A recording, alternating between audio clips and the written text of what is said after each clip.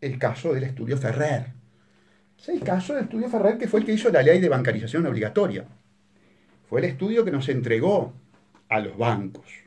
Es decir, el gobierno perverso, degenerado, corrupto del Frente Amplio, encabezado por el presidente eh, Vázquez, eh, profundiza la ley que en su momento fue promulgada con el gobierno de Mujica.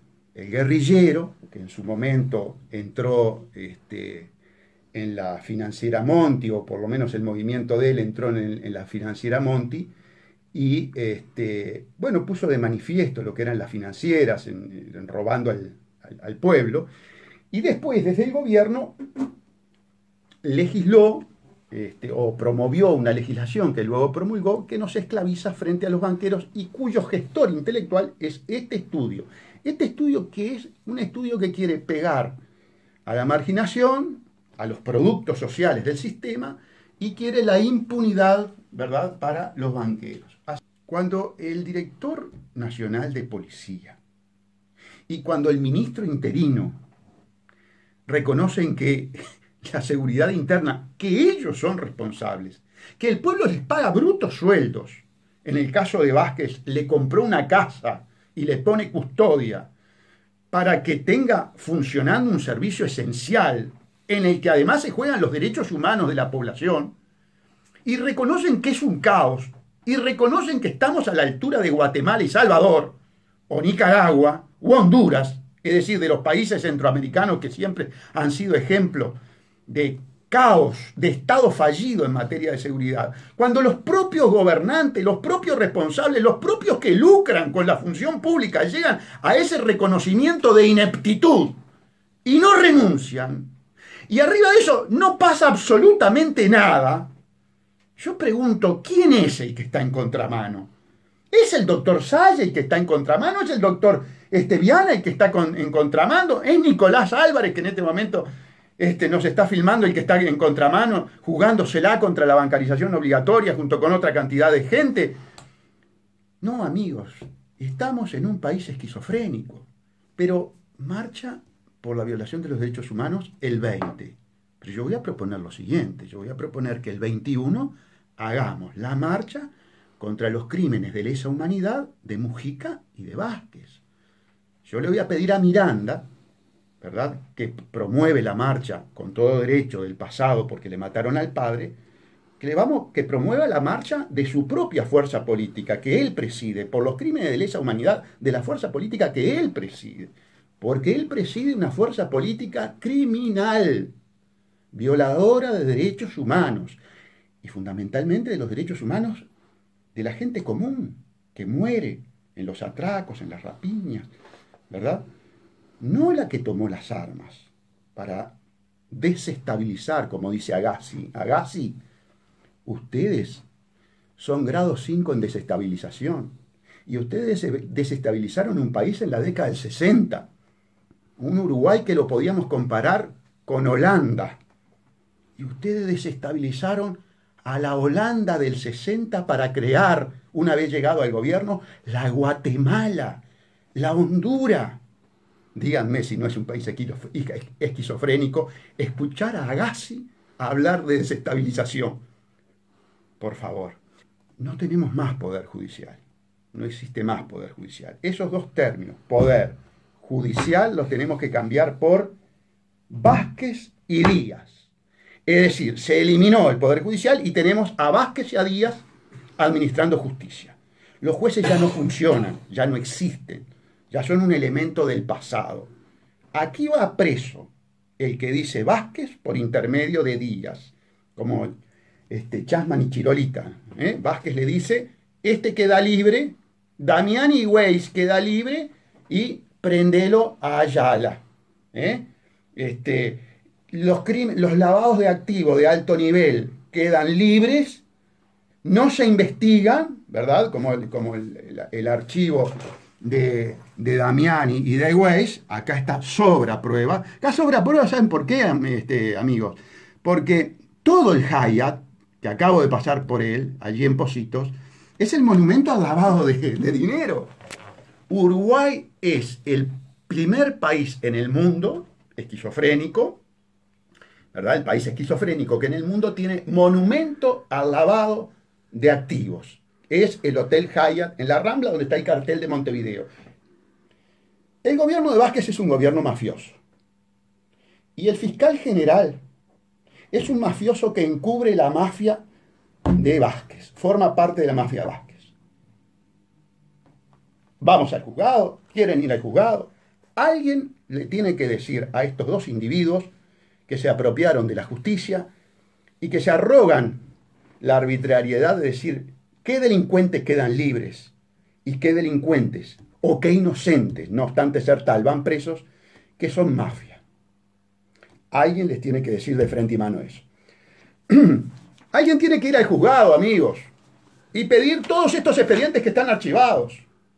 Alguien tiene que ir al juzgado y llamar a Sendik y preguntarle la conversación que usted tuvo con Salle. Cuando usted a Salle le dijo, si yo me pongo a hablar, marchan todos presos. Porque ustedes tienen que saber eso. ¿eh? Yo tuve una conversación privada con el vicepresidente de la República, cuando era vicepresidente de la República, antes que lo amenazaran de muerte a él y a la familia para que renunciara, en la que me dijo, si yo hablo, marchan todos presos. Y es verdad, es verdad, todos sabemos que este es un, este es un gobierno de delincuentes, mafiosos, que se están robando el país. Miren, amigos, es absolutamente inconcebible en un país que no esté en situación de esquizofrenia como vive el Uruguay, que el presidente de la República haga un negocio de las características de UPM y que se dé el gusto de decir que no va a informar nada.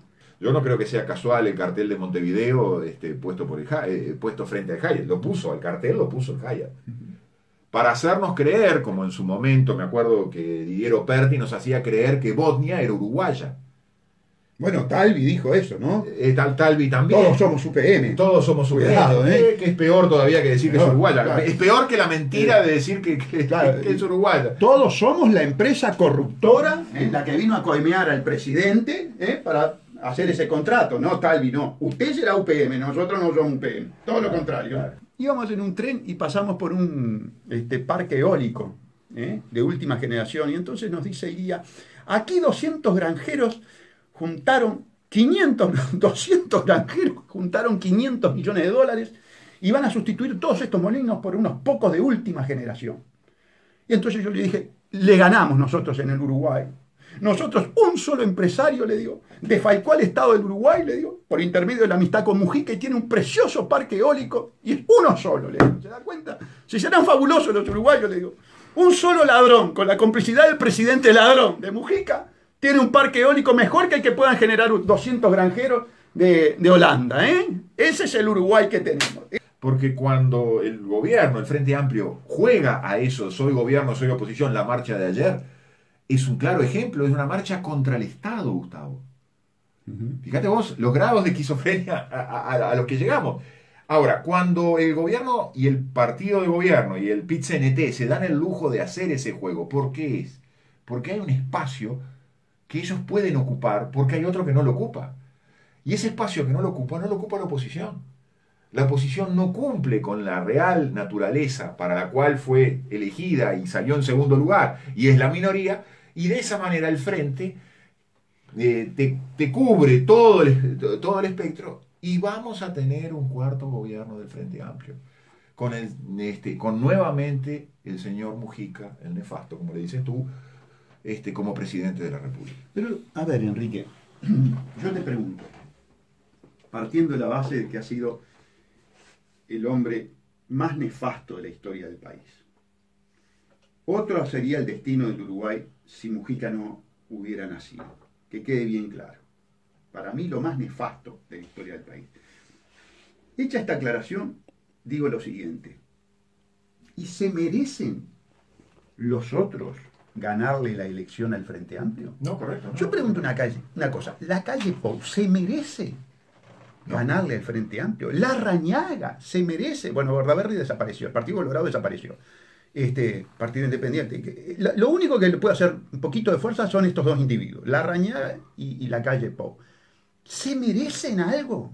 No, no, no. No se merecen absolutamente nada. Han sido dos cortesanos colaboracionistas.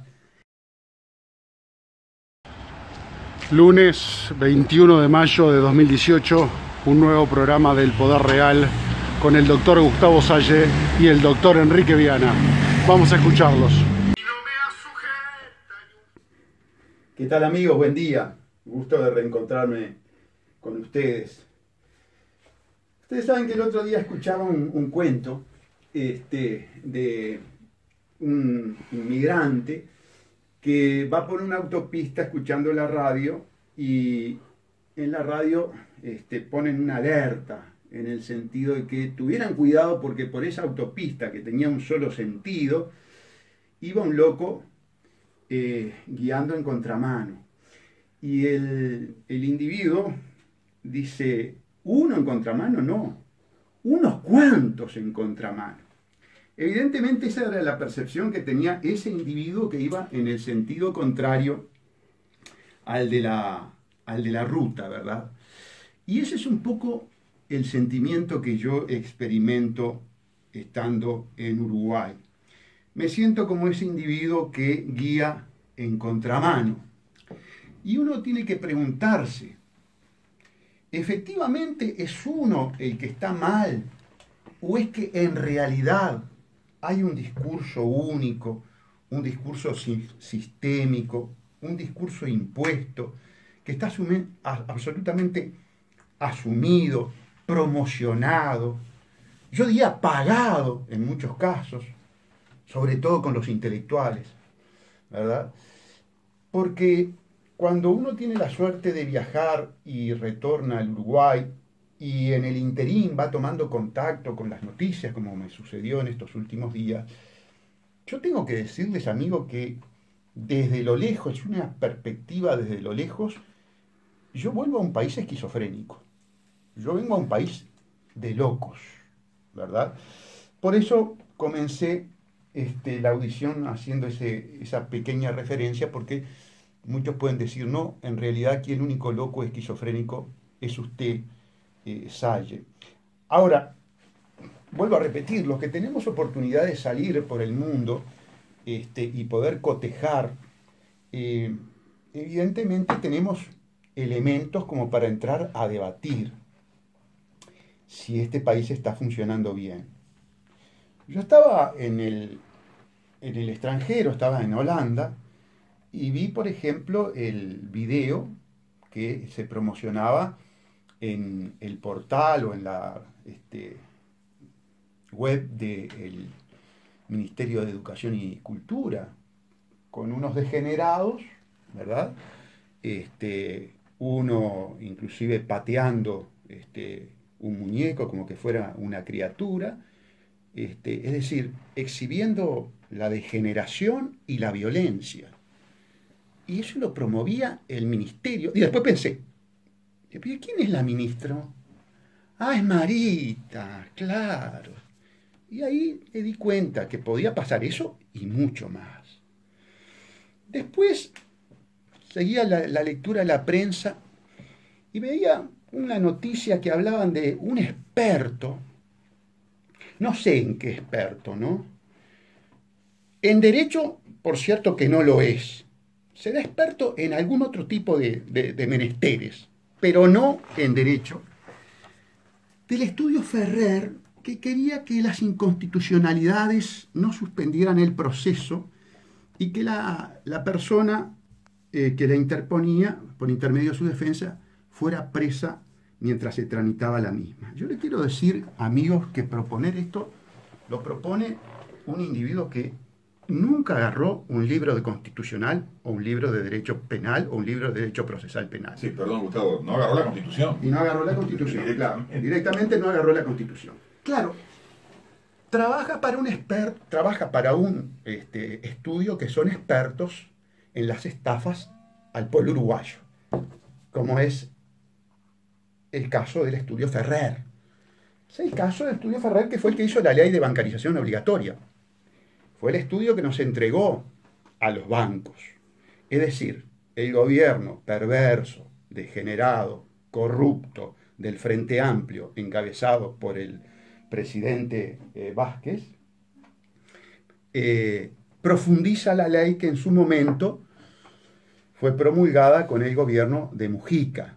El guerrillero, en su momento entró este, en la financiera Monti, o por lo menos el movimiento de él entró en, la financiera Monti, y este, bueno, puso de manifiesto lo que eran las financieras, robando al, pueblo, y después desde el gobierno legisló este, o promovió una legislación que luego promulgó que nos esclaviza frente a los banqueros y cuyo gestor intelectual es este estudio. Este estudio que es un estudio que quiere pegar a la marginación, a los productos sociales del sistema y quiere la impunidad, ¿verdad?, para los banqueros. Así que experto propone una burrada verdaderamente propia de un país esquizofrénico. Pero las, las noticias que uno va este, acumulando, que va leyendo y que nos llevan a esta aseveración de país esquizofrénico, la más importante es tal vez la que dice relación con la seguridad interna. Cuando el director nacional de policía y cuando el ministro interino reconocen que la seguridad interna, que ellos son responsables, que el pueblo les paga brutos sueldos, en el caso de Vázquez le compró una casa y le pone custodia para que tenga funcionando un servicio esencial en el que además se juegan los derechos humanos de la población, y reconocen que es un caos, y reconocen que estamos a la altura de Guatemala y Salvador, o Nicaragua, o Honduras, es decir, de los países centroamericanos que siempre han sido ejemplo de caos, de Estado fallido en materia de seguridad, cuando los propios gobernantes, los propios responsables, los propios que lucran con la función pública llegan a ese reconocimiento de ineptitud y no renuncian, y arriba de eso no pasa absolutamente nada, yo pregunto, ¿quién es el que está en contramano? ¿Es el doctor Salle el que está en contramano? ¿Es el doctor Esteviana el que está en contramano? ¿Es Nicolás Álvarez que en este momento este, nos está filmando el que está en contramano, jugándosela contra la bancarización obligatoria junto con otra cantidad de gente? No, amigos, estamos en un país esquizofrénico, porque esquizofrénico es este gobierno. Miren, amigos, en este pupurrí de de elementos conceptuales y fácticos que estamos manejando, la marcha, la marcha por los crímenes de lesa humanidad del pasado. Sí, estoy de acuerdo. Crímenes de lesa humanidad del pasado, si estaré de acuerdo. Fui el único abogado que buscó que se hiciera justicia con el autor intelectual del terrorismo de Estado, que fue el yanqui, ¿verdad? El sionista yanqui Henry Kissinger ningún magistrado, ni del Ministerio Público, ni del Poder Judicial, hizo nada al respecto. Claro, yo creo que ya sabían que venía el maridaje perverso. Ellos ya sabían que venía la nueva izquierda, que es una izquierda pro-yanqui, que es una izquierda entregadora, que es una izquierda corrupta. Entonces tal vez por eso nuestro pedido con respecto a, a Henry Kissinger no prosperó. Pero marcha por la violación de los derechos humanos el 20. Pero yo voy a proponer lo siguiente, yo voy a proponer que el 21 hagamos la marcha contra los crímenes de lesa humanidad de Mujica y de Vázquez. Yo le voy a pedir a Miranda, ¿verdad?, que promueve la marcha con todo derecho del pasado porque le mataron al padre, que le vamos que promueva la marcha de su propia fuerza política que él preside por los crímenes de lesa humanidad de la fuerza política que él preside porque él preside una fuerza política criminal, violadora de derechos humanos, y fundamentalmente de los derechos humanos de la gente común, que muere en los atracos, en las rapiñas, ¿verdad? No la que tomó las armas para desestabilizar, como dice Agassi. Agassi, ustedes son grado 5 en desestabilización. Y ustedes desestabilizaron un país en la década del 60 un Uruguay que lo podíamos comparar con Holanda. Y ustedes desestabilizaron a la Holanda del 60 para crear, una vez llegado al gobierno, la Guatemala, la Honduras. díganme si no es un país esquizofrénico, escuchar a Agassi hablar de desestabilización. Por favor. Les quiero decir otra cosa. No tenemos más poder judicial. No existe más poder judicial. Esos dos términos, poder judicial, los tenemos que cambiar por Vázquez y Díaz. Es decir, se eliminó el poder judicial y tenemos a Vázquez y a Díaz administrando justicia. Los jueces ya no funcionan, ya no existen, ya son un elemento del pasado. Aquí va preso el que dice Vázquez por intermedio de Díaz, como este, Chasman y Chirolita. ¿eh? Vázquez le dice, este queda libre, Damiani y Weiss queda libre y prendelo a Ayala. ¿eh? Este, los, los lavados de activos de alto nivel quedan libres, no se investigan, ¿verdad? Como el, como el, archivo de, de, Damiani y de Weiss, acá está sobra prueba. Acá sobra prueba, ¿saben por qué, este, amigos? Porque todo el Hayat, que acabo de pasar por él, allí en Positos, es el monumento al lavado de, de dinero. Uruguay es el primer país en el mundo esquizofrénico, ¿verdad? El país esquizofrénico que en el mundo tiene monumento al lavado de activos es el Hotel Hyatt en la Rambla, donde está el cartel de Montevideo. Tenemos el cartel de Montevideo de un lado y del monumento del lavado de, dinero del otro, el Hyatt, que justo Pacheco el que me archiva todas las denuncias. En este, en este, que tiene sobrada prueba, también archiva. Yo puse un Twitter, estaba en Ámsterdam. Pero ahora lo voy a decir desde Montevideo, para que no haya dudas. El gobierno de Vázquez es un gobierno mafioso. Y el fiscal general es un mafioso que encubre la mafia de Vázquez, forma parte de la mafia de Vázquez. Vamos al juzgado, quieren ir al juzgado. Alguien le tiene que decir a estos dos individuos que se apropiaron de la justicia y que se arrogan la arbitrariedad de decir qué delincuentes quedan libres y qué delincuentes o qué inocentes, no obstante ser tal, van presos, que son mafia. Alguien les tiene que decir de frente y mano eso. Alguien tiene que ir al juzgado, amigos, y pedir todos estos expedientes que están archivados. Alguien tiene que ir al juzgado y llamar a Sendik y preguntarle la conversación que usted tuvo con Salle.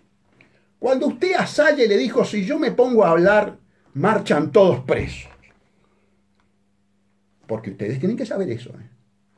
Yo tuve una conversación privada con el vicepresidente de la República, cuando era vicepresidente de la República, antes que lo amenazaran de muerte a él y a la familia para que renunciara, en la que me dijo, si yo hablo, marchan todos presos. Y es verdad, es verdad, todos sabemos que este es un, este es un gobierno de delincuentes, mafiosos, que se están robando el país. Miren, amigos, es absolutamente inconcebible en un país que no esté en situación de esquizofrenia como vive el Uruguay, que el presidente de la República haga un negocio de las características de UPM y que se dé el gusto de decir que no va a informar nada, que va a ser absolutamente confidencial, que nadie pregunte nada y que el fiscal que interviene en la denuncia que nosotros formulamos, el doctor Pacheco, que en otro expediente dice que las licitaciones públicas son absolutamente ineluctables para este tipo de negocios, cuando le presentamos la denuncia de UPM y le decimos que no se transitó por la licitación pública internacional, vaya al artilugio jurídico decir no es un contrato. Cuando en realidad las partes dicen que es un contrato, se está ejecutando el contrato, se está gastando por el contrato, se, nos estamos endeudando por el contrato, y yo tengo que soportar que un fiscal suelto de cuerpo me diga no es un contrato. Pero ¿quién es el esquizofrénico en este país? Por favor. Sí, capaz que indirectamente lo que quiso decir es que no era un contrato válido, que era un contrato ilícito, criminal. Y por eso era que habíamos planteado la denuncia. Sí, bueno, pero entonces que procese. Claro, pero no que archive. bueno, pero digo para que la esquizofrenia se da vuelta varias veces. Yo te digo la verdad, Gustavo, eh, eh, acabo de escuchar hace pocas horas, no lo comentamos eso, este, el discurso del comandante Manini Ríos donde en determinado momento del discurso él habla de las agendas internacionales eh, en forma muy dura, este, haciendo pie especialmente en el concepto del artiguismo, y que el artiguismo debería ser el freno para que no existieran agendas internacionales y hubiera gente, los arratea, los, los, los, mitre, que, que, nos hagan cumplir esas, esas agendas, los traidores que nos hacen cumplir esas agendas. Yo cuando lo escuché hablar en esa parte, te digo la verdad, pensé que habitualmente el comandante nos debe estar escuchando en esta audición, porque lo hemos dicho en más de una oportunidad con, bastante tiempo. Este, yo creo que esa esquizofrenia también eh, tiene ese fundamento en las agendas. Es el, muñeco eh, que tú hablabas de, de, Chasman y Chirolita, ¿no? El muñeco vuelve a decir cualquier cosa. Un día dice una cosa, otro día dice otra cosa distinta algo que se acopla perfectamente al discurso del mismo sujeto que dijo que la política estaba por encima del derecho. Sí, del nefasto, del. Eh, ahí está, ahí está. Este, y a eso yo le agrego esta consideración, y quizás es la más trágica, es la que nos muestra que estamos a contramano, como tú decías, ¿no? en forma solitaria. Hay un, un conformismo aceptado, consensuado, porque la ciudadanía este, parece este, en su gran mayoría, estar aceptando esta, este, este doble discurso permanente al cual nos enfrentamos. ¿no? Este, como te digo una cosa, te digo la otra. Eh, este doble discurso que habilita la arbitrariedad y habilita la violación del principio de igualdad. Ya no somos iguales ante la ley. Hay eh, los que, eh, como bien decías tú, yo no creo que sea casual el cartel de Montevideo este, puesto, por el, puesto frente al Hayat. Lo puso, al cartel lo puso el Hayat para hacernos creer, como en su momento me acuerdo que Didier Operti nos hacía creer que Bosnia era uruguaya. Bueno, Talvi dijo eso, ¿no? Eh, tal, Talvi también. Todos somos UPM. Todos somos UPM. ¿eh? Que es peor todavía que decir que es uruguaya. Es peor que la mentira de decir que, es uruguaya. Todos somos la empresa corruptora en la que vino a coimear al presidente ¿eh? para hacer ese contrato, no Talvi, no. Usted será UPM, nosotros no somos UPM. Todo lo contrario. Claro, claro, Y es parte también de eso que yo muchas veces te he dicho, de, salvar el complejo de aquel de los dueños de los medios de producción, si nos vamos para el otro lado del espectro que ya a esta altura ha perdido sentido, ¿no? Este, somos casi, casi los dueños de los, de los medios de producción, porque estoy convencido que muchos como Castillo, como Agassi que tú mencionabas, están eh, entusiasmadísimos porque realmente creen que tener UPM en el país es como en los viejos tiempos de la, de, la, Unión Soviética, tener una empresa del Estado. Quizás porque haya una suerte de conjunción de intereses muy, muy sospechosa, que los ha, los autoconvencido cuando se levantan en las mañanas y se mira del espejo, de que este, tener estas empresas y hacer negocios secretos, ocultos, este, en forma clandestina, los asemeja a este, los mecanismos de los koljós de la, de la, de la, Unión Soviética. ¿no? no tienen nada que ver, sabemos claramente que no tienen nada que ver. Pero eh, a mí lo que me preocupa, y tú sabes, este, es la, el silencio permanente en este juego esquizofrénico de soy gobierno y soy oposición, un ratito una cosa, un ratito otra, ocupando un espacio. Porque cuando el gobierno, el Frente Amplio, juega a eso, soy gobierno, soy oposición, la marcha de ayer, es un claro ejemplo, es una marcha contra el Estado, Gustavo. Fíjate vos los grados de esquizofrenia a, los que llegamos. Ahora, cuando el gobierno y el partido de gobierno y el PIT-CNT se dan el lujo de hacer ese juego, ¿por qué es? Porque hay un espacio que ellos pueden ocupar porque hay otro que no lo ocupa. Y ese espacio que no lo ocupa, no lo ocupa la oposición. La oposición no cumple con la real naturaleza para la cual fue elegida y salió en segundo lugar, y es la minoría, y de esa manera el frente eh, te, cubre todo todo el espectro y vamos a tener un cuarto gobierno del Frente Amplio. Con, el, este, con nuevamente el señor Mujica, el nefasto, como le dices tú, este, como presidente de la República. Pero, a ver, Enrique, yo te pregunto, partiendo de la base de que ha sido el hombre más nefasto de la historia del país. Otro sería el destino del Uruguay si Mujica no hubiera nacido. Que quede bien claro. Para mí lo más nefasto de la historia del país. Hecha esta aclaración, digo lo siguiente. ¿Y se merecen los otros ganarle la elección al Frente Amplio? No, correcto. Yo pregunto una, calle, una cosa. ¿La calle Pou se merece ganarle al Frente Amplio. La Rañaga se merece. Bueno, Bordaberry desapareció, el Partido Colorado desapareció. Este Partido Independiente. Lo único que le puede hacer un poquito de fuerza son estos dos individuos, La Rañaga y, la calle Pau. ¿Se merecen algo? No, no, no. No se merecen absolutamente nada. Han sido dos cortesanos colaboracionistas de esta esquizofrenia que vive el país. Pero por favor, entonces, Dada esa situación, yo estoy de acuerdo y lo he puesto en el Twitter. Hay gobierno del Frente Amplio para rato. Lo que no hay es país para rato.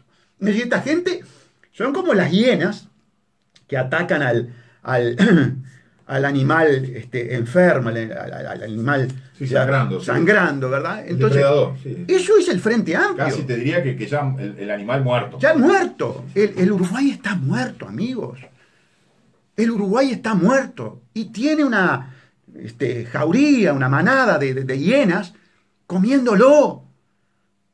Y en la esquizofrenia que vive el Uruguay, insólitamente, el pueblo va a votar por esa manada de hienas. Es que los otros no se merecen nada. Ahora, este es el panorama desolador en el que está inmerso el, Uruguay. Y ustedes se preguntarán, bueno, pero ¿y, cuál es la solución? ¿Y por qué ustedes? Dos por tres tenemos la, interrogante, ¿por qué ustedes? No. Porque, señores, a nivel mundial, a nivel global, el sistema partidocrático funciona en base a dinero. Porque las campañas electorales se compran, porque el cerebro de la gente, lo que tiene que votar la gente, se induce, se compra. Se compra con dinero contante y sonante. Pero por la, supuesto. La prueba está de por qué el amor a China. Ya no el amor a China de quienes podrían decir, bueno, en nuestros orígenes, cuando nacimos, como Mujica, este, éramos marxistas-leninistas y queremos ver cómo funciona eso de un país, dos sistemas, marxismo-leninismo por un plato de arroz o dos platos de arroz cada 12 horas de trabajo para adentro y capitalismo salvaje para afuera. Pero puede haber una curiosidad de un marxista-leninista. Ahora, cuando los que van a China son los supuestos liberales del Partido Nacional, uno queda desacomodado. Otra vez, por un, rasgo de esquizofrenia este, o de otra cosa distinta que le tendremos que poner otro nombre, que este, muy cercano a corrupción.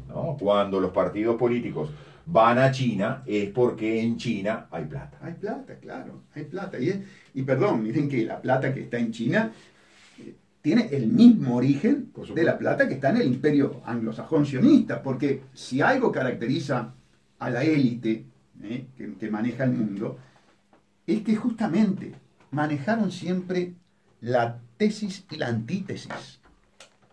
Y lamentablemente muchos fuimos los cretinos útiles que no nos dimos cuenta en su momento de que estábamos siendo manipulados pasa el tiempo y recién uno toma conciencia de eso. Cuando ya veterano toma conciencia de eso, eh, aprende a mirar el mundo de otra manera.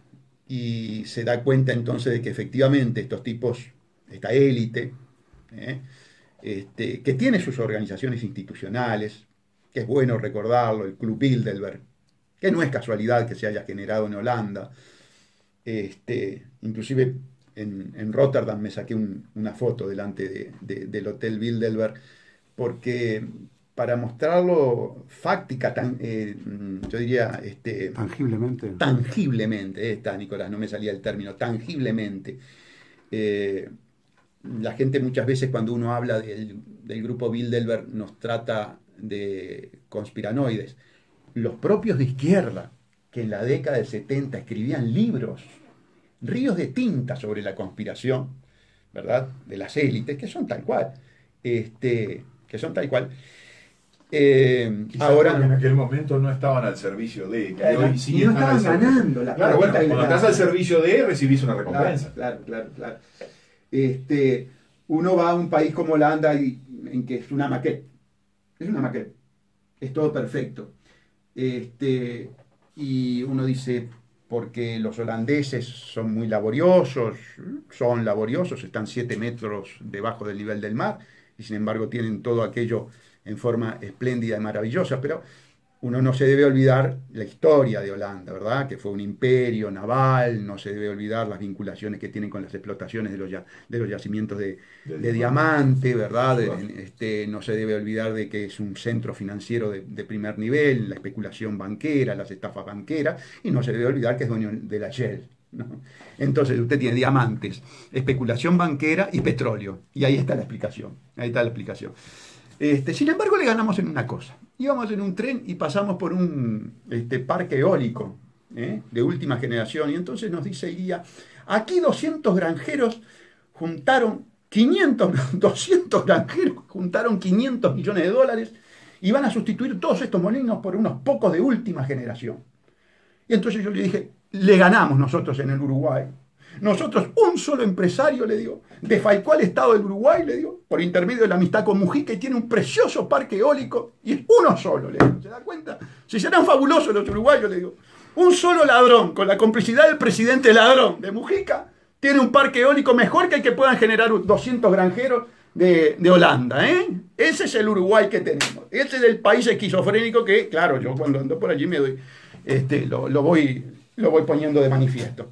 Este, tenemos que ir a una pausa y, volver al, tratamiento del Uruguay esquizofrénico. La gente se pregunta a veces, ¿por qué el doctor Salle puede tratar de delincuente a Mujica? Porque Mujica es un delincuente confeso. Por eso. Lisa llanamente, yo no hago más que tomar sus acciones y sus declaraciones y obviamente llegar a una conclusión de carácter lógica y racional. Mujica dice, hay que estar hay que estar en frontera de la ilegalidad para hacer. Ya está. Un individuo que le dice que está en la frontera de la ilegalidad, vale decir que está en la, en la ilegalidad llegando a la frontera de la misma, asumió que es un delincuente. Entonces, es, un poco aquello de la expresión brasilera, roba más, más faz. Sí. Roba pero, pero hace. Él quiso parafrasear de alguna manera ese concepto para justificar la existencia de las sociedades anónimas del Estado, de las PPPs y de los contratos ROU-PM, de todo eso. Claro, pero quiso justificar a NUR. Sí, sí, sí, quiso justificar que la mafia del Frente Amplio le robara al pueblo uruguayo el equivalente a dos veces el valor de la planta de Alur. que eso que fue lo que eso fue lo que pasó. Lo que está aprobado. claro, para él. Exactamente, que lo que está aprobado y Pacheco archivó. Correcto. Y que nosotros sacamos del archivo. Esto es justificar UPM. Sí, es justificar la impunidad, es decir, porque... Y la corrupción. La corrupción. Este, yo estoy eh, dentro de la ilegalidad, pero la ilegalidad, me permite hacer. Ese es el, el concepto. Pero Cuidado, amigos, porque... Es la destrucción de la República y de los frenos. Exacto. Es delincuente, pero es perverso. Porque este es el discurso, este es el discurso que busca la justificación. Sí, de los robos para la corona. De los robos para la corona y de la destrucción del derecho. y de la destrucción del derecho. Porque la destrucción del derecho es lo que quiere el corrupto. El corrupto quiere que no exista derecho, que no exista derecho público. el estudio Ferrer está loco de la vida con la privatización del derecho penal. Está loco de la vida con las PPP. De Posadas, que ahora nos viene a sacar un librito, que fue el gestor de la regasificadora junto con Ferrer y Guller, ¿verdad? Están locos de la vida con que no haya leyes estrictas, bien hechas, por buenos legisladores, que haya mamarrachos que haya mamarrachos que después salen los alcahuetes, los alcahuetes de los estudios grandes, los alcahuetes del estudio de Ferrer, a decir burradas y disparates. ¿Se dan cuenta? Y no hay nadie que les haya contestar y decirle, burro, ¿cómo vas a decir que la inconstitucionalidad puede ser salvada metiendo preso al tipo mientras se, se está este, dilucidando? Pero ¿cómo vas a atacar el derecho a la inocencia el principio de inocencia? ¿Cómo vas a atacar lo que dice expresamente la Constitución? ¿Cómo vas a utilizar la analogía de la ley de amparo y mal amparten para perjudicar a quien se presume inocente? ¡Burro! Lee la Constitución. Vos sos experto, pero en cualquier otra cosa. Sí, pero hay mala fe, Gustavo, porque en Claro, definitiva claro todo- que hay mala fe. cuando vos haces, cuando haces desaparecer al judicial y al legislativo, y cuando los integrantes del judicial, los jueces, y los integrantes del legislativo, expresamente no hablo de poder, este, abdican, entregan respectivamente el poder, el nuevo código es, por ejemplo, un ejemplo claro de la entrega de los poderes, bueno, pasamos a un régimen tiránico, porque el que manda es uno solo. Pero además, Enrique, nosotros tenemos un elemento a favor. Y perdónenme la petulancia. Después todos tienen que venir y reconocer. Viane y Salle tenían ra- razón.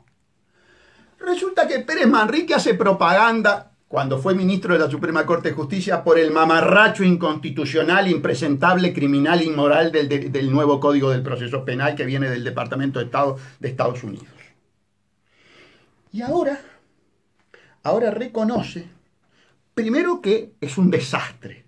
Y como es un desastre, los legisladores, los burros que votaron esto, los burros, los legisladores, los mandaderos y payos del imperio que votaron esto, se dan cuenta que todo un caos, le quieren hacer modificaciones que son peores todavía, Que también las predijimos. que también, también nosotros dijimos, Dijimos que iba a haber esta vuelta de tuerca. Claro. Venían con el tema de Esperar el proceso esperar en el proceso en libertad. Esa fue la zanahoria. La y atrás de la zanahoria venía el, el palo, venía el cuchillo para metértelo, pero ¿sabes El qué? flautista de Jamelín, tocando, la, tocando la flauta. Y nosotros, tú y- y sobre todos todo. los ratoncitos yendo detrás. Y tú, sobre todo, Enrique, lo, lo- lo dijiste, lo, lo- hablaste con senadores, le- le- les, los iluminaste en esa oscuridad eh, total que tienen, y no obstante, como el, tema venía de Estados Unidos, había que hacer el mandado. Y ahora sale Pérez Manrique a decir que eso es desnaturalizar por, por completo el acusatorio, ¿verdad? Y lo que no se anima a decir es que en realidad esto es una maniobra, esto es una mentira. Es decir, era un régimen represivo. Y el régimen represivo, esto tiene que ser bien claro expresado. Esta es la solución fascista que llevan adelante los bolches. Por eso el Frente Amplio es bolchefascismo. Porque Y se por dice... eso la oposición lo va a votar. Y por eso la oposición lo va a votar. La oposición vota Es- por el componente... Es, es además una, una represión arbitraria, porque es una represión dirigida, eh, selectiva, como se decía, como antes la izquierda le gustaba usar mucho la, palabra- la palabra selectividad, el doctor Gonzalo Fernández, que prácticamente la impuso en el país. Es dirigida, selectiva, es el, el- el derecho penal del enemigo. Ahora, ¿cuál es el enemigo? ¿El, el- el de arriba? ¿El que hace los contratos secretos con UPM? No, no, por No. supuesto. El de abajo, pero ojo con el del medio, eh, pues yo advertí el otro día, ojo con el del medio, porque el del medio no va a subir, el del medio va a caer hacia abajo. Entonces, mucho cuidado con algunos uruguayos que creen que dar palo y palo para abajo es bueno y, este, y creyendo que nunca van a estar en la circunstancia de caer en, en- en- en- ese espacio este, que es un abismo en Que realidad. lo vuelvo a repetir hasta el cansancio. Esto es muy claro. Esto es las tres chuletas de aguja de segunda del policía del Concar y esto es el archivo de Alur. ¿Ah? Tuvimos fiscales ¿eh? de los que se manifestaron duros, que eran los que metían preso a los policías ¿eh? de las tres chuletas de aguja de segunda. Concretamente, el ex fiscal Gustavo Subía. Metió preso al policía de las tres chuletas. Nunca se metió con un gobernante corrupto, nunca se metió con un gran narcolavador, nunca se metió con un banquero. Por lo tanto, cuidado con el discurso bolchefascista, cuidado con el que dice tenemos que reprimir, tenemos que reprimir, y resulta que está orientada esa represión hacia el producto social, lo que tantas veces dijo la izquierda el producto de la política de Astori, Vázquez y Mujica. De estos tres viejos nefastos ¿eh? que reprimarizaron el país, lo endeudaron, lo corrompieron, lo destrozaron. Entonces, después que tienen todo eso, lo que hacen es aplicar el garrote, el, sistema fascista. Sistema fascista que lo alienta ahora el Partido Comunista. Partido Comunista que se beneficia de la maquinaria de impunidad. Todos sabemos lo que es el Partido Comunista. Abdala, Castillo, Michele Santos, los tres deberían estar presos. Castillo, ustedes saben muy bien, la estafa de las viviendas del plan de vivienda sindical junto con Abdala. Le sacaron a los empresarios, le sacaron a los obreros y la destinaron a eh, temas de carácter estrictamente personales. Eso también está archivado. Todo lo que sea corrupción gubernamental va a estar archivado. Pero existe, es real, está allí. Y pasa una cosa que quiero denunciar, muy importante. Nos habíamos olvidado de este tema, Enrique. En una sentencia interlocutoria inédita de la Suprema Corte de Justicia, la Suprema Corte de Justicia ordenó que se desglosara de un documento público, de un expediente, el expediente de la inconstitucionalidad del caso del doctor Ayala, todo un material probatorio de cientos de páginas de documentos que nosotros habíamos agregado. Eso es un acto ilegal cometido por los cinco ministros de la Suprema Corte de Justicia violando la Constitución y la ley. Y fundamentalmente haciendo algo, trampeando la historia. Y le voy a explicar por qué trampeando la historia. Porque esos documentos ya forman parte de un expediente público. Ese expediente público es acervo de carácter cultural, de carácter jurisprudencial. Histórico. Histórico. Hoy o mañana podrá haber estudiantes que vayan a leer cómo se administraba justicia bajo la dictadura del Frente Amplio. Y encuentren entonces esos documentos. La Suprema Corte de Justicia quiere eliminar la prueba. Quiere eliminar la prueba de la infamia. Estoy denunciando a los cinco ministros de la Suprema Corte de Justicia por querer ocultar la realidad, por querer sacar, por querer de alguna manera eliminar elementos probatorios de lo que fue la abdicación del Poder Judicial y de lo que fue la instauración de la dictadura de Vázquez del Frente Amplio. Ya interpuso Enrique, porque yo no estaba en el país, ¿O lo vamos a interponer? No, vamos a interponer. Lo vamos a interponer. Vamos a interponer. En función de esas razones que tú estás diciendo. La nulidad de esa sentencia. Y vamos a advertir que otra cosa importante, Gustavo, del relato histórico que se quiere eliminar o trampear. Eh, los relatos históricos en un expediente judicial son muy importantes porque luego permiten la revisión. Y nadie está a salvo de una revisión judicial que la realizará una Suprema Corte dentro de 10, 15, 20 años, o la podrá realizar la, Comisión Interamericana de Derechos Humanos o la Corte Interamericana de Derechos Humanos muy importante, Muy importante, muy importante. Señores ministros de la Suprema Corte de Justicia, ustedes saben que hay convenios internacionales. Ustedes saben que a partir de la internacionalización del derecho, que es todo un capítulo, porque en realidad es la imperialización del derecho, pero no obstante esa imperialización del derecho, hay etapas internacionales. Nada menos que el Pacto de San José de Costa Rica. Pacto de San José de Costa Rica. incorporado por la ley de amnistía como parte del derecho nacional. Ley 15.737, que tanto habla la izquierda, ¿verdad? Entonces nosotros tenemos el derecho a que esa prueba, que ya está formando parte del expediente, que ya hubo un juez que dijo que formaba parte del expediente, que en este caso... Corte no la retiró en ningún momento. Es más, esto puede pasar un, formalismo frente a todo lo que estamos diciendo sustancioso, puede ser un, formalismo. Pero eh, al momento que nosotros interpusimos, cuando la Corte decide no, no abrirnos a prueba el proceso, no la manda a retirar. Cuando nosotros recurrimos diciendo que no puede violar las garantías del debido proceso y negarnos el derecho a prueba, allí extra petita, ultra petita, incorpora el desglose. Eh, eh, pero es violatoria del debido proceso de los derechos humanos a hacer prueba, del derecho humano a defenderte. ¿Y todo por qué? Porque, señores, nuestro defendido ya está condenado. Está condenado, exactamente. Ayala está condenado. Ayala está condenado porque esta Suprema Corte de Justicia está jugada a este código inmoral, inconstitucional, ilegal, criminal, ¿verdad? Porque ha hecho propaganda por él. Y la prueba que nosotros teníamos incorporada es precisamente, entre otras, declaraciones de actuales ministros con la cancha flechada antes de este, dictaminar, antes de fallar. Entre otras, eh, eh, allí estaba la prueba de la recusación que nosotros promovimos. Y eso deja muy mal parado cuando la Corte liminarmente, de plano, haciendo de juez y parte, arbitrariamente, rechaza la, la, recusación. Y el recusado, uno de los recusados en su momento, que fue Pérez Manrique, en este momento se cambió de bando y es de lo que critica al nuevo código. No es el único. ¿eh? No es el único. El doctor Pacheco también salió a hablar de la inconstitucionalidad del proceso penal abreviado. Del proceso por pactos. Ahora, Eh, esquizofrenia. esquizofrenia. Otra, más esquizofrenia. Exactamente, esquizofrenia. Mira, Gustavo, nosotros una de las pruebas que pedimos, que la Corte no quiere hacer, es que se incorporen las instrucciones generales. ¿Por qué es muy importante? Porque ella- la Corte dice que acá no hay hechos, que la constitucionalidad no depende de cuestiones de hecho. No, ¿cómo no? ¿Cómo no? La- las, la- ahora acaban de ser dictadas dos nuevas instrucciones, la, la 8 y la 9. Una tiene 197 páginas, te podrás imaginar que todavía no la leí. Instrucción sobre delitos sexuales. Y la 9, instrucción, programa de protección especial de personas eh, víctimas o testigos.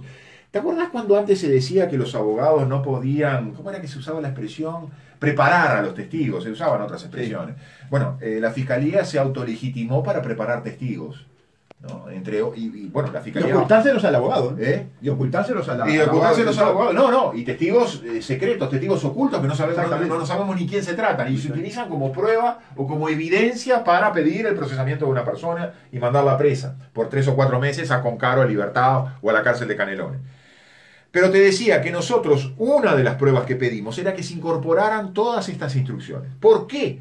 Porque las instrucciones eran demostrativas de qué? De que ya no había más fiscales independientes, que había fiscales delegados de un fiscal eh, general, que ya no había poder legislativo, porque esto es reglamentación, esto es acto administrativo que sustituye a la ley. Y que tampoco había judicial, porque la agencia política que dicta estas instrucciones sustituyó al Poder Judicial. Era la demostración cabal de la, de- de- El golpe de Estado técnico. del golpe de Estado técnico, exactamente. Sin duda.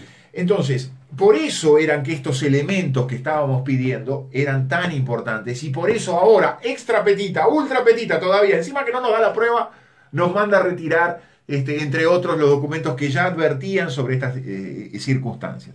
¿Y por qué es importante que, que mande a retirar? Porque es una for- forma de ocultación, es una forma de trampear la historia, es una forma de quitarle la posibilidad hoy o mañana a investigadores ¿eh? de acceder a ese tipo de elementos probatorios que justamente pautan ¿eh? el golpe de Estado técnico, pautan cómo el Poder Judicial había abdicado de su poder de, de- de juzgar precisamente y lo había entregado todo al, al Poder Si tú Ejecutivo. me permitís, Gustavo, Sí, otra cosa importante, ¿no? No, lo he leído un par de veces, pero va, va a merecer un análisis este, más profundo en, en próximas audiciones.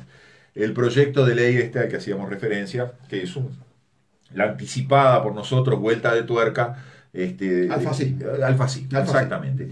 Donde eh, se van a, a establecer mecanismos que impiden la libertad anticipada en eh, delitos como las lesiones graves, las lesiones gravísimas y el hurto en con circunstancias agravantes, algo que va incluso contra lo que establece la Constitución y el Código Penal. O sea que es una vuelta de tuerca que se, se patina y se va y sigue y sigue de largo. Ahora, esto va a provocar algo por lo cual la Corte está muy preocupada. Va a provocar más inconstitucionalidades porque han ido en aumento las inconstitucionalidades y eso los tiene muy preocupados. Eh, Esto va a provocar más, porque va a haber más gente que se va a dar cuenta que inevitablemente la van a meter presa, entre otras cosas sin interrogarla ante el juez y sin hacer ni siquiera la semiplena prueba que exigen los artículos 15 y 16 de la, de la Constitución. Eh, entonces, ¿qué es lo que va a ocurrir? ¿Va a triunfar la opinión del supuesto experto? Para evitar las inconstitucionalidades? ¿O va a triunfar alguna tesis que ya he visto? Bueno, los jueces rechazan la inconstitucionalidad y que planteen la queja y mientras tanto el individuo va a ir preso, con lo cual se in- ingresa en un proceso nulo que, va que debería caer y debería provocar un non bis in el individuo no debería, no debería permitirse que el individuo volviera a ser juzgado. Todas estas hipótesis son posibles porque en la esquizofrenia y la arbitrariedad en la que estamos imbuidos, este, todo es posible, todo es real. Ahora, que va a haber más inconstitucionalidades, sí. Y aquí un, un aspecto muy importante para que el oyente entienda. Eh, cuando uno es defensor y tiene una persona que admite que cometió un delito, que reconoce la comisión del delito y que lo que busca en definitiva es una pena que no sea tan gravosa, que no suponga ir a los campos de concentración, Bueno, el defensor va a ir de alguna manera hablar en la fiscalía, no tiene más remedio en el nuevo proceso, a tratar de negociar, de pactar.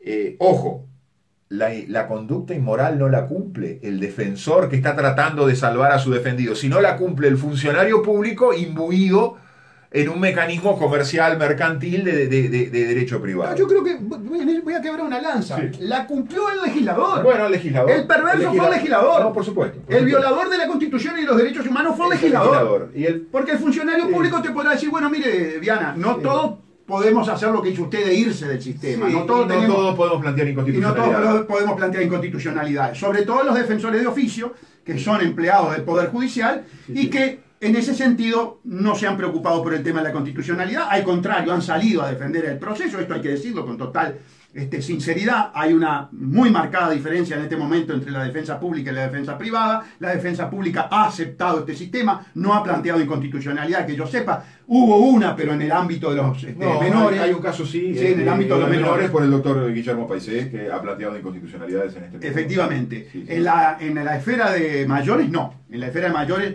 los, los defensores de oficio no han planteado inconstitucionalidad. Inclusive tú participaste en una audiencia donde la defensora de oficio ratifica o busca ratificar la constitucionalidad. correcto.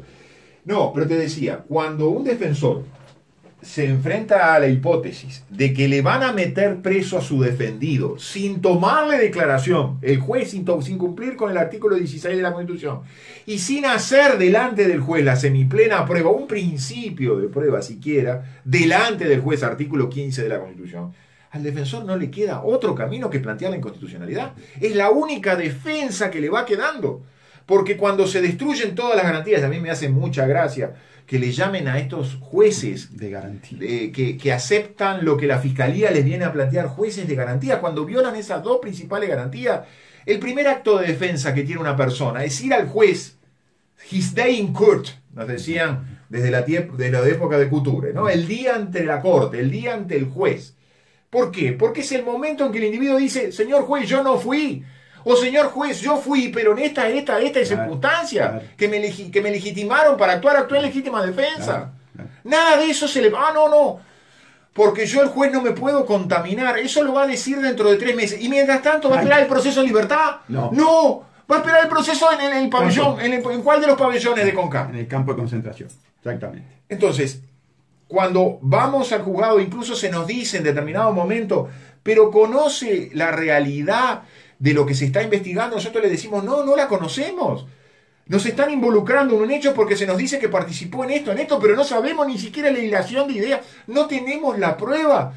Y además la prueba es prueba, y eso los profesorones se cansaron de decir, cuando se hacen ante juez. ¿Y sabe lo que nos contestan los jueces? Dentro de tres meses, que esperen con CAR tranquilo. Pero dentro de tres meses, ¿cómo llego? Hay que decirle. a ver, doctor, si usted va a ir con CAR tres meses, fíjese tres meses, ¿qué tiene que llevar? Eh, ¿qué, sustancia imprescindible tiene que llevar para ir a con CAR si va por tres meses? Eh? Para que no le duela. Bueno, el tema es el siguiente. Estamos asistiendo a un poder judicial que ya ha abdicado totalmente de ser tal, pero que quiere colaborar con el poder ejecutivo violando la Constitución. Están desesperados los ministros de la Corte en otra vez violar la Constitución para hacerle los favores a quien le paga el sueldo, que es el Poder Ejecutivo, como la violaron con la ley. No, y ahí tenemos el, nefasto problema de la ejemplaridad negativa, ¿no? Cuando el de arriba hace eso, ¿qué dejamos para el de abajo? En la jerarquía judicial. Pero yo me quería referir a lo siguiente, porque esto es importante, Enrique, porque la gente, y sobre todo por el discurso oficialista, está pensando siempre en el delincuente. Correcto. Ya parte de la base de que todo esto que nosotros estamos diciendo es referida al delincuente. Y yo le, estoy, le quiero decir que es referida a usted y a su hijo. Mire, mira, Gustavo. A su hija, a usted, a su sobrina, a su marido. El otro día. Que piense del individuo de que va a ir a un juzgado ¿eh? y que por error dijeron: Este es el rapiñero. El otro día un periodista me insistía con, los episodios estos de San Carlos, en fin, y yo digo: Mire, ¿sabe cuál es, el, cuál es la versión que usted está recibiendo como periodista? ¿Es la del juez? Le preguntaba yo. No, no, no. Es la de la policía, es la de la fiscalía. Bueno, es una versión. ¿Escuchó usted la versión de la defensa? No, no la escuché. Bueno, porque siempre existe una segunda versión. Entonces yo le ponía, mire, si vamos nosotros en un vehículo, juntos, le decía con el periodista, nos paran una, una dotación policial. Y cuando abrimos, nos piden para abrir el baúl, abrimos el baúl del auto y nos tiran una bolsa de cocaína dentro del auto. Y nos dicen, ustedes llevan cocaína. ¿Qué hacemos nosotros? Vamos al juez. ¿Y qué le ha- y- y llegado el momento, primero vamos a la fiscalía, ¿no? que nos va a decir que la bolsa de cocaína estaba dentro del auto y por, por lo tanto van a pedir nuestra formalización con prisión preventiva, que esperemos dentro de tres meses para demostrar que la policía nos tiró la bolsa de cocaína adentro de- de- del vehículo auto. Y cuando vamos al juez y le queremos decir siquiera al juez, señor juez, nos tiraron la bolsa de cocaína dentro del baúl de nuestro auto, nosotros no tenemos nada que ver. El juez dice, no, lo va a tener que decir dentro de tres meses, espere tranquilo en Concar. Ese ejemplo, el periodista cuando me escuchaba se dio cuenta de cuál es la situación, porque no podía entender que no le tomaran declaración y no se puso en los zapatos del individuo que le pasaba eso y no podía entender que no se hiciera la posibilidad de una semiplena prueba de que mi versión, para descartar mi versión y decir, no, esta gente llevaba la cocaína de antes. Entonces, el ciudadano tiene que entender que ese tipo de cosas pueden pasar y pasan. Y que si algo tenía el viejo código tan mm, golpeado, era la posibilidad de que ante el juez el individuo declarara y que ante el juez el juez pudiera hacer prueba distinta de la versión de la fiscalía. Este, nada de eso existe. No hablemos de jueces de garantía, este, por lo tanto, y coloquémonos en los zapatos de una situación de esas características. Señores, vamos al sistema por el cual los Sendic, los de León, los Damiani, los Weiss, esos no van a ir presos. Su hijo, su esposo, su hija, su nieto, no importa si fue o no fue. Basta que la fiscalía se le ocurra que fue con muy pocos elementos para que vaya a la formalización. Y fíjense lo que acaba de decir el doctor, que es tal cual. El juez que se llama de garantía, ¿sabe qué le pregunta? Le hace tres preguntas. Por el nombre de sus padres, por cómo lo trató la policía, con cinco o seis policías que están viendo a ver lo que usted contesta, y después vuelve sala. adentro de la sala. Este, y si conoce los motivos por los cuales está preso, que normalmente no los conoce. Esos son los tres, los tres elementos. Después, No, y, y además le preguntan, si conoce los elementos puede estar... Y cuando empieza a explicar, sí, me dicen que estoy preso, pero en realidad no debería estar preso por esto. Cuando me dice, le cortan, no puede explicar. no. Es- Eso es- no es un juez de garantía, amigos. Eso es un mamarracho. no es un juez. No es un de mamarracho. lo que hablábamos hoy, Gustavo. ¿no? Y usted va preso, y usted va preso, no en función jurisdiccional, Correcto. no en el contexto de un proceso, usted va preso a través de actos administrativos de un solo organismo que maneja un solo individuo que recibe orden de el presidente de la República. Pero eso sí, la orden del presidente de la República tiene respaldo constitucional. Que esto es lo que este, Nicolás me decía, explícalo porque la gente no lo entiende. Es tan desastroso el sistema que votaron los, los burros de la clase tumoral eh, política de nuestro país, que el artículo 197 y 198 le habilita a este, Vázquez, le habilita a Vázquez decirle a Díaz quién va preso y quién no va preso. Eso votaron las bestias de nuestros legisladores. Por eso nosotros decimos es inconstitucional que sea un servicio descentralizado. Porque si es un servicio descentralizado se le aplica el 197 y el 198, que bajo ninguna circunstancia se podría tener un, sistema así. Entonces, los burros de la clase tumoral política del país, que tiene al país en esta esquizofrenia, y sumida en esta, eh, este terrorismo de Estado, en esta crisis brutal, quieren ahora modificar el mamarracho. ¿Y hacia dónde vamos? Vamos hacia la arbitrariedad fascista, en la que los de León, los Endic, los Güey, los Damiani, pese a que está sobrada la prueba, que no lo puede ocultar Pacheco, aunque quiera ocultarlo no puede, ¿eh? quedan libres. Y su hijo, su hijo, con pocos elementos, al CONCAR. Y después en el CONCAR prepárese violación, lesiones, muerte, enfermedades, las visitas absolutamente maltratadas, las mujeres poco menos que vejadas ¿eh? cuando van a las visitas. Eso es lo que le espera en este sistema, el sistema de violación de los derechos humanos del gobierno terrorista del doctor Vázquez. Hasta la próxima audición.